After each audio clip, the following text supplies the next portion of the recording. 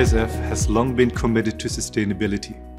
Since 1994, the company has pledged its commitment to sustainable development and we have set a clear course for our future. By 2050, we aim to achieve net zero CO2 emissions. The bulk of our direct CO2 emissions occur in the production of our base chemicals. Therefore, it is in this area we can make the greatest impact. We are increasing efficiency in our production lines and focusing on the use of renewable energies. Our teams are accelerating the development and use of new CO2-free processes for the production of chemicals. We are fundamentally rethinking the way we manufacture our products and are blazing ahead with a switch to climate-smart processes. In addition, BASF is pioneering the transparency of product carbon footprints for our products. We provide a product carbon footprint calculation from cradle to the factory gate. This clarity enables us to focus our CO2 reduction measures to achieve the greatest reduction in carbon emissions. We can tailor our feedstocks to address the specific needs of our customers, offering them a wide range of options to meet their sustainability goals. Our latest innovation and addition to our sustainability portfolio is Lupranat Zero. This is an MDI-based product that leaves our gates with a zero product carbon footprint. Now, please join us on a tour to learn all about how Lupranat Zero is manufactured. MDI is an aromatic isocyanate and a building block in the production of polyurethane. Polyurethane is used in many applications such as shoe sole, insulation material or in coatings.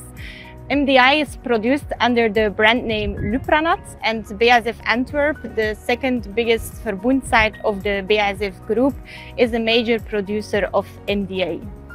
Insulating is the most efficient way to save energy and reduce costs for living. But imagine that already in the production of the polyurethane itself, we could save CO2 emissions.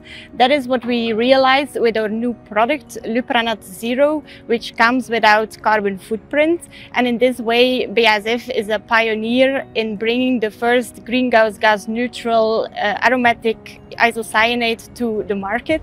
Lupranat Zero is the result of both a highly efficient production method and the use of bio-based raw materials.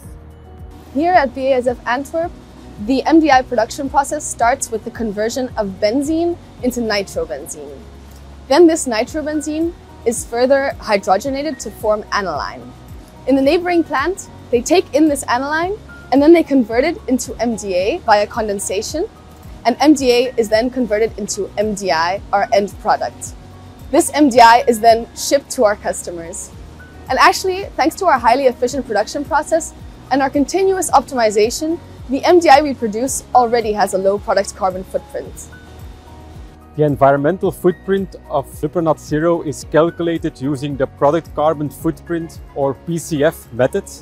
This is a certified procedure to account for the emissions of the product from cradle to gate or from raw material until the product leaves the BASF premises. Specifically for Lupranat Zero, the Zero PCF is realized using renewable raw materials and green energy. The renewable raw materials in this case are biobenzene and biomethane, together with uh, raw materials from non-renewable resources. Next, the biomass balance method is used to get a bio-based label for all certified articles. BASF Antwerp is a frontrunner within BASF in the journey towards net zero.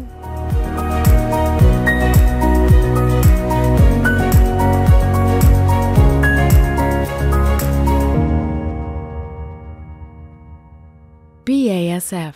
We create chemistry.